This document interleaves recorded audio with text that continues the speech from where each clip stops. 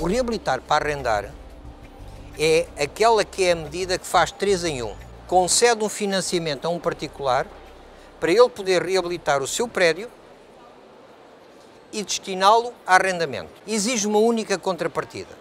É que esse arrendamento vai ser feito com uma renda acessível. Estamos precisamente a tentar que aquilo que é a enorme massa de prédios existentes nos centros históricos sejam postos a uso. Nós tivemos um processo de um enorme desperdício urbanístico no país. São estes prédios destas casas que nós temos que, que é o grande, o grande target do reabilitar para arrendar, conseguindo que qualquer entidade pode ser uma misericórdia, pode ser um município, pode ser um particular, o sistema é completamente aberto, se possa candidatar. Não estamos a convidar as pessoas a virem a meter-se num negócio ruinoso. Uma das virtudes do simulador é saber qual é o valor da renda máxima que cada senhorio pode praticar em face da casa que tem e do investimento que vai realizar. Com as contas todas. Pode lá colocar quanto é que paga de IRS, quanto é que gasta de manutenção de elevadores, Quanto é que gasta de eletricidade dos partes comuns? Quanto é que paga de taxas camarárias?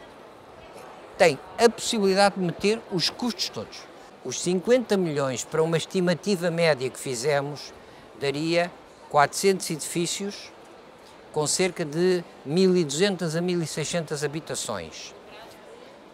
Dos dois anos, que são os primeiros dois anos. Mas, ouça, eu receio bem que com a velocidade a que isto vai, atinjamos no, no prazo de um ano essa meta. Está a superar todas as nossas expectativas. Há de facto uma adesão enorme, está a correr muito bem e, portanto, aquilo que nós esperamos é que o reabilitar para arrendar seja precisamente o ponto de partida para incentivar a reabilitação, incentivar o arrendamento, fazer condições de arrendamento acessível. O financiamento deixou de ser um problema. Nós não estamos minimamente preocupados com a dotação por uma razão. Aquilo que nós combinámos com as nossas entidades financiadoras foi uma primeira tranche de 50 milhões.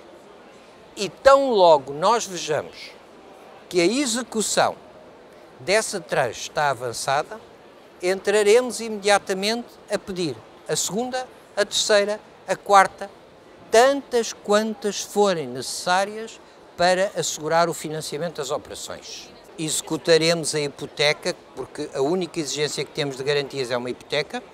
No caso disso não ser cumprido, executá-la-emos. Com a capacidade que, de cruzamento de dados com o arrendamento.